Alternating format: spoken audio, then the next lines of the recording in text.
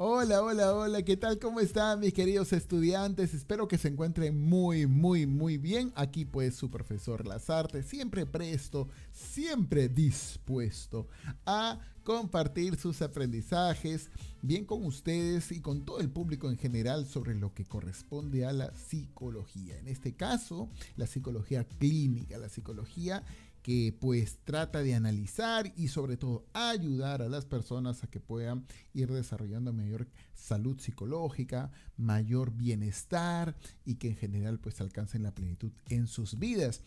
Hoy día de qué vamos a hablar, profe, de qué vamos a hablar.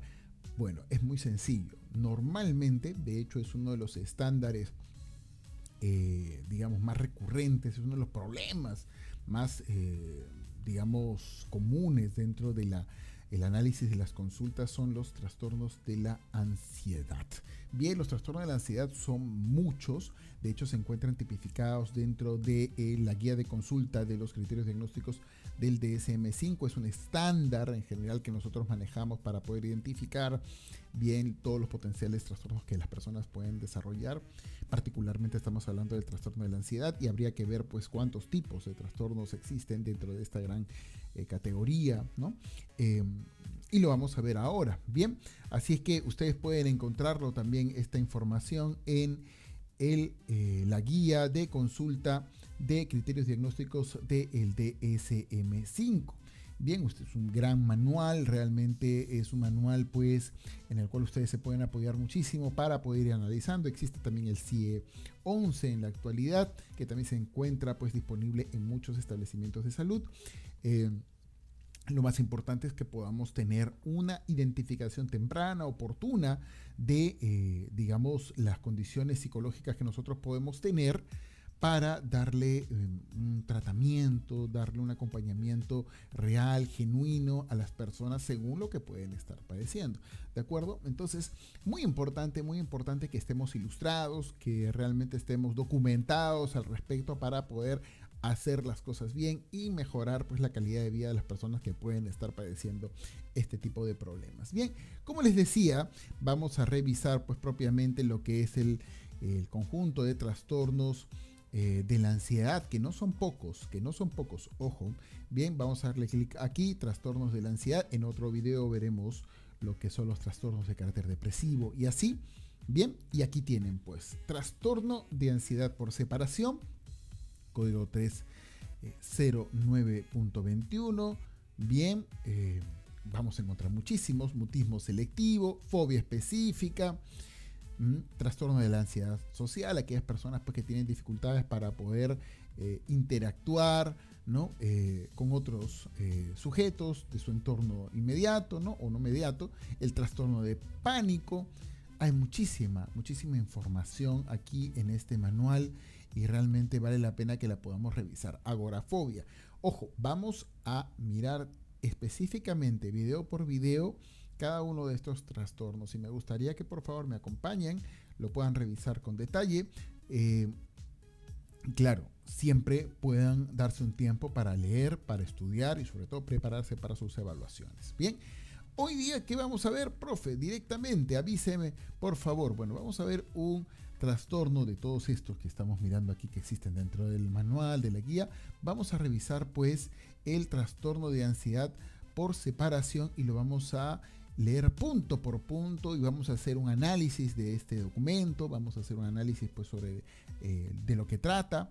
Bien, si tienen algunas dudas por favor me la dejan dentro de la casilla de los comentarios. Bien, y aquí estaré pues dispuesto a poder ayudarles al máximo a todos ustedes. Bien, voy a hacer alguna digamos modificación en la pantallita en estos momentos para que todos puedan ver de manera más clara, más legible este material que es tan importante. Vamos a dar unos segunditos nada más. Ahí está. Listo. Cambio de cámara en 3, 2, 1. Ahí tienen. ¿Ven? Entonces, ahora sí se puede ver claramente trastornos de ansiedad y específicamente el trastorno de ansiedad por separación. Bien, 309.21. ¿Qué cosa y cómo empieza? Dice. ¿Qué cosa es, por lo visto? Es el miedo o ansiedad excesiva, bien e inapropiada para el nivel del desarrollo del individuo concerniente a su separación de aquellas personas por las que siente apego. bien, puesta de manifiesto por al menos tres de las siguientes circunstancias, ¿de acuerdo?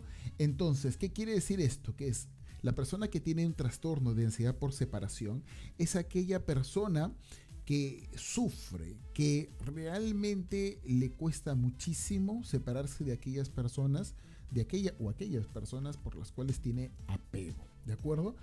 Eh, llora inconsolablemente, eh, tiene ideas fatalistas de, de, la separación, no quiere efectivamente separarse de la persona y realmente es algo que le causa muchísimo malestar, muchísimo padecimiento. Ahora, vamos a mirar exactamente cuáles son las características y tal como dice el manual, si es que al menos encontramos tres de las siguientes circunstancias, ya podríamos tener pues una presunción diagnóstica de que estaríamos hablando de un trastorno de ansiedad por separación. Ojo, pestaña y ceja es el mismo manual la misma guía de consultas con la cual estamos trabajando, no estamos parafraseando, estamos tomando directamente el manual, pero sí es importante que tú que me estás viendo en estos momentos, que si es que encuentras que hay alguna característica que se asemeja, si has llegado a este video porque te han comentado que puedes tener esto, es importante que acudas a un especialista. Nosotros podemos ayudarte, claro que sí.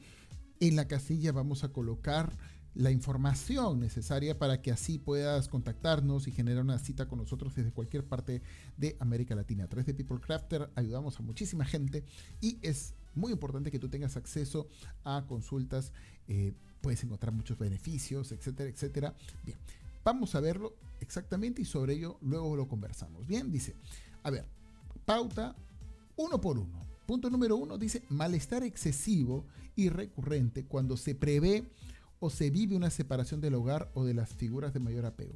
Suena básicamente como lo que le puede pasar a una criatura, ¿verdad? Una criatura que tiene muchísima dificultad porque tiene apego con la mamá, tiene apego con el papá, tiene apego pues con eh, alguna figura, con los abuelitos, con una figura de cuidado. Puede ser quizás con alguna amistad, puede ser con algún profesor, no lo sé, pero realmente tiene muchísimo apego a la persona y quiere decir que no puede desprenderse del contacto con ella o con él porque le genera muchísimo sufrimiento. Hay ideas catastróficas eh, sobre la separación. Bien, eh, cada separación parece que fuera que la persona se va a morir. Hay llanto desmesurado. Em, y esto particularmente puede resultar bastante complejo de manejar, sobre todo, por ejemplo, cuando los padres tienen que ir pues eh, a trabajar y las criaturas se quedan en la casa, ¿no? Entonces hay que tener cuidado con ese tema. Segundo punto, dice, preocupación excesiva y persistente por la posible pérdida de las figuras de mayor apego o de que puedan sufrir posible daño, como una enfermedad, daño, calamidades o muerte. Y esto es un poco lo que les decía hasta hace unos minutos. Cuando tú eh, te separas de la persona, sientes que el mundo se te va a caer, que realmente es muy difícil y que tú realmente ya no puedes más contigo mismo, eh, porque piensas que se va a morir, porque piensas que ya no la vas a volver a ver. Hay, hay un problema a la hora de, de, digamos, convivir con la realidad de separarse momentáneamente de una persona. No estamos hablando de una persona que haya necesariamente pasado por un trauma en particular, es una persona que casi ya de, digamos, de manera eh, tradicional, siente que bajo cualquier circunstancia, si la persona se va, esto va a generar una separación permanente y por tanto es muy, muy, muy doloroso. Dice, punto 3. Ojo, punto 3. Preocupación excesiva y persistente por la posibilidad de un acontecimiento adverso, perderse, ser raptado, tener un accidente, enfermar, cause la separación de una figura de gran apego. Esto, nuevamente, ¿no? Tienes una persona que puede ser incluso adulta, ¿no? Pero que sufre muchísimo y piensa que realmente eh, cada vez que se separa de esta persona con la cual tiene apego va a suceder prácticamente el apocalipsis y nunca más la va a ver y eso le genera un tormento muy fuerte, ¿no? Eso caracteriza pues a una persona que tiene trastorno de ansiedad por separación. Punto número 4 dice, resistencia o rechazo persistente a salir lejos de casa, a la escuela, al trabajo o a otro lugar por miedo a la separación. ¿Se dan cuenta cómo sería vivir así? Sería realmente algo bastante penoso, ¿no? Que no puedas ni siquiera ir a trabajar. Y más aún, imagínate ser eh, pareja de una persona que sufriera esto, va a ser algo bastante complicado de poder manejar porque no te vas a poder ir a ninguna parte. Va a estar siempre pues atenta o atento a, tu ubicación, a realmente qué es lo que está pasando, si, no porque sea particularmente celosa o celoso, sino porque siente que realmente algo malo te va a pasar. Y eso es algo que le puede generar mucho sufrimiento a la persona que lo tiene, obviamente, pero también a la persona con la que está. Ojo con ese detalle. Miedo excesivo y persistente a dormir fuera de casa o a dormir sin estar cerca de una figura de gran apego.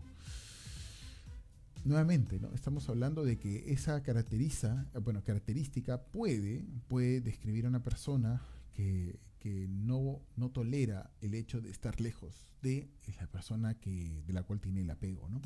Ojo, tres al menos de estas circunstancias si se identifican claramente a nivel de intensidad, a nivel pues de tiempo, ¿no?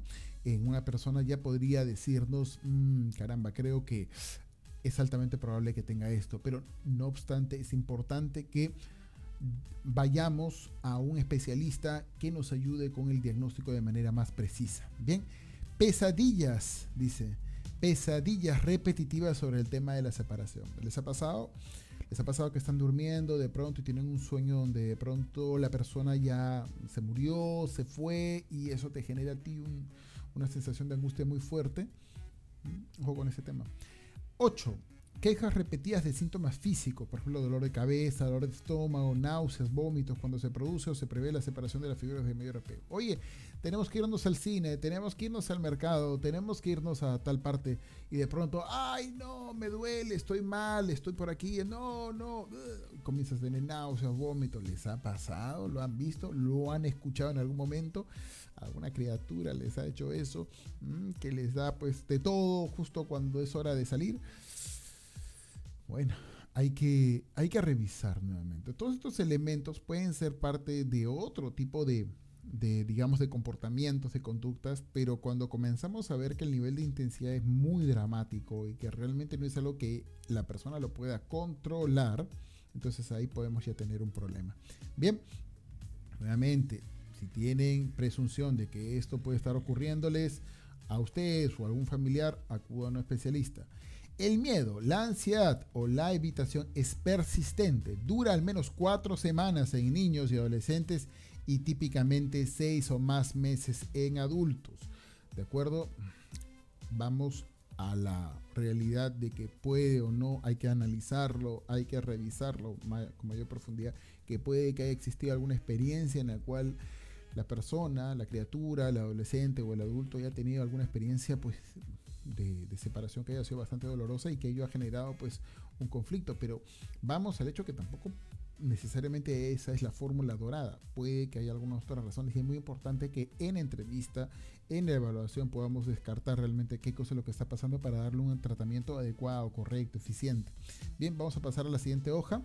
Dice C la alteración causa malestar clínicamente significativo deterioro en lo social, académico, laboral u otras áreas importantes del funcionamiento. Nuevamente, cuando tienes un trastorno, te afecta en todas las partes de tu vida, no tan solo con, con, un, con un, aspecto. ¿no? Es algo que se genera arraigo en muchos ámbitos y que te complica la vida, ¿no? Te complica. Punto número D. La alteración no se explica mejor por otro trastorno mental, por eso yo lo hemos visto antes, más o menos como el disclaimer, ¿no? Como rechazo a irse de la casa por resistencia excesiva al cambio de un trastorno del espectro del autismo, ¿no? Eh, delirios o alucinaciones concernientes a la separación de trastornos psicóticos, rechazo a salir sin alguien de confianza en la agorafobia. Es decir, el trastorno pues, de ansiedad por separación no necesariamente eh, va a estar pues, este, conjugado con otro tipo de trastornos, cada uno tiene sus propias particularidades y por eso nuevamente es importante que si es que tú tienes la presunción de que esto puede, lo que tú experimentas o tu familia puede estar experimentando es esto, es importante que veas un especialista y lo diagnostiques. Bien, ¿qué les ha parecido? Bueno, en este caso hemos hablado directamente sobre un tipo de trastorno de la ansiedad, hay muchos otros.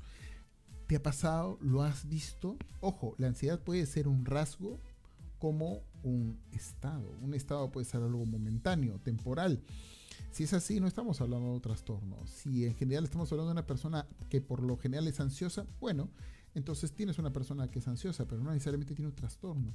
Un trastorno es cuando ya es algo inmanejable, perdurable, que te afecta pues a nivel cognitivo, emocional, eh, afecta tu funcionamiento interpersonal, eh, afecta tu control de impulsos, afecta muchas áreas, ¿no? En lo educativo, en lo laboral, en, el ámbito social, en, el ámbito de la pareja. Es importante que lo veamos. Bien, espero que te haya sido de mucha ayuda este video.